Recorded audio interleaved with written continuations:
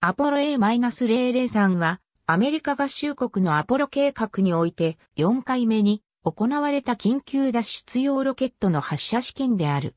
レノ試験が行われるのは A-003 で4度目になる。今回の目的は、カナードを使用できる上限の高度での性能を確認することであった。使用されるリトル上2ロケットは、アルゴルモーターが6機まで増設され、アポロ指令、機械船の模型トレを搭載して打ち上げられた。今回はまた、レの排気ガスから指令線を保護する全部熱保護カバーが新たに取り付けられていた。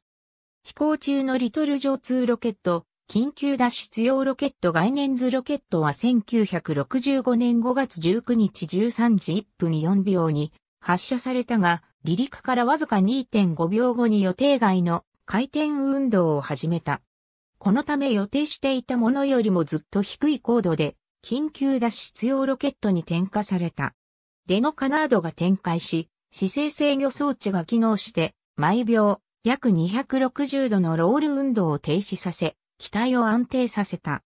予定されていた高々旅でのレ分離実験には失敗したが、今回のために新規に開発されたカナードは、極めて有効に機能することが図らずも証明されたわけである。ありがとうございます。